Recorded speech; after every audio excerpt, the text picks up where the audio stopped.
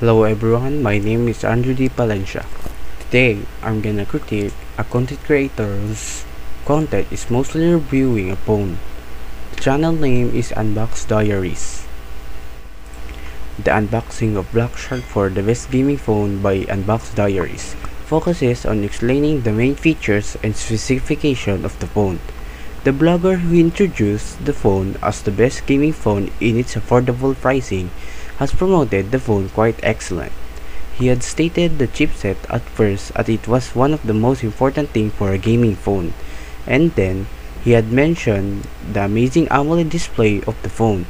But what caught the interest most of the viewers is when he stated how fast charging the phone was. With a 120 watts fast charging feature, the blogger has explained it too well, to the point that it was a very convincing promotion.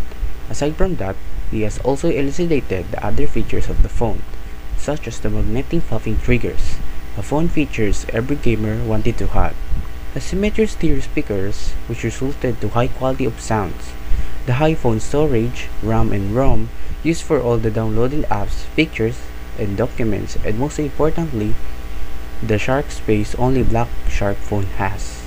A specialized virtual gaming space made for gaming phones. The Shark Space features give us enhanced gaming quality. The blogger has also provided videos of how good your game can be when, when using this phone. There are specified buttons to disable notifications, calls, and messages to avoid disturbance during the game. He has also shown the usage of the magnetic popping triggers during a game. Aside from that, he has mentioned the camera quality, of course, one of the most important features for a phone. Overall, the unboxing video by Unboxing Diaries is excellent. Information about the phone are well explained. Video quality is superb, and the video sounds and audio are good. So that's all for today. I hope you enjoyed my video. See you next time.